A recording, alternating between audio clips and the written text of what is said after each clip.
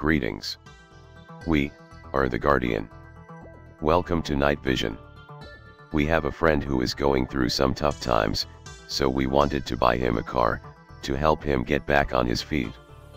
So I found a good deal on Craigslist, set the appointment with the owner, and took off.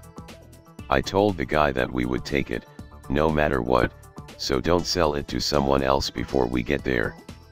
He promised that he would hold it.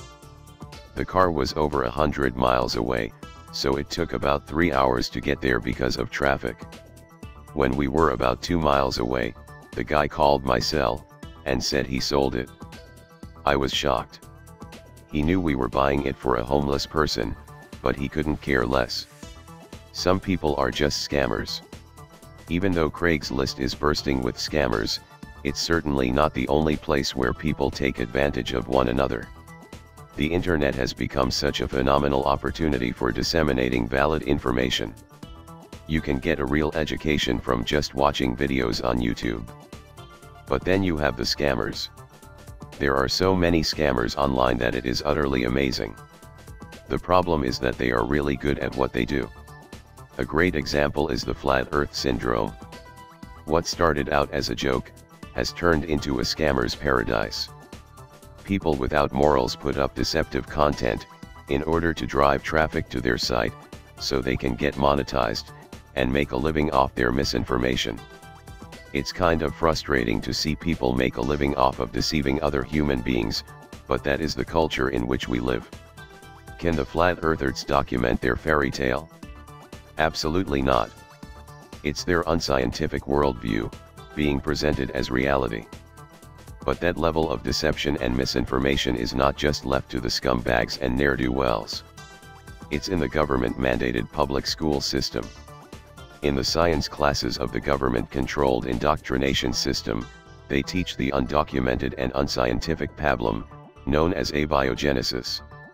Abiogenesis is the erroneous hypothesis, that life started on Earth, all by itself, from non-living chemicals. Can the government document their fairy tale? Absolutely not. It's their unscientific worldview, being presented as reality. So what is the difference between the flat earthers, and those who teach abiogenesis? Nothing. They are two peas in a pod, they are parallel universes, they are birds of a feather. They are brothers, from another mother. But how can this be? One is considered a conspiracy theory for whack jobs, the other is the ultimate intellectual foundation. Do either worldviews have a shred of evidence? Absolutely not. Yet one is ridiculed as insanity, and the other is heralded as the epitome of scientific understanding.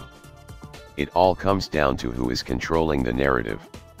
Right now, it's a free-for-all online you can pretty much say whatever crazy thing you want to online, and you will find those gullible enough to believe your unfounded musings. Where it all gets to be a bit more nefarious, is when it is endorsed by the government, and force-fed to our kids in the public school indoctrination system. Can you imagine the reaction of the parents, if they found out that the schools were teaching that the earth was flat? They would come unglued. The reaction would be swift and severe. Trust me, the guillotines would be sharpened, and heads would roll with impunity. But the hypothesis of abiogenesis, has no more evidence, than the flat earthers. So what's the difference? One is a conspiracy theory that has no theological implications, the other is the very foundation of the government's atheistic worldview. Abiogenesis is literally impossible, but it must be taught as a fact, because it is the basis of all atheistic beliefs. If abiogenesis falls, so does their atheistic house of cards. They must defend the deception, at all cost. Even when their hypotheses have no evidence. Even when it contradicts all science and logic. And why is that? Because they don't care about science. They don't care about facts. They don't care about evidence they only care about protecting their atheistic worldview.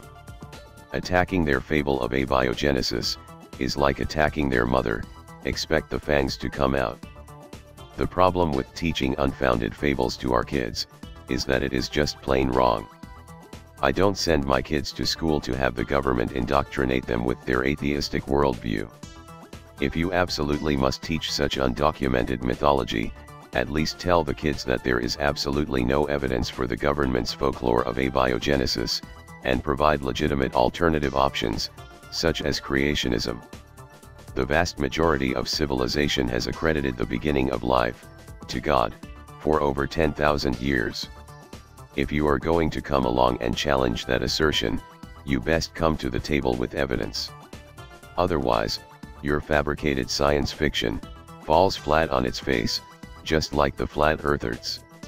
Two peas in a pod my friend, two peas in a pod. Peace be unto you and your house. In the beginning, God created the heavens and the earth. That's truth. That's reality. The government atheists can neither prove what they believe, nor disprove, what we believe. So embrace your creator, for he is the original singularity.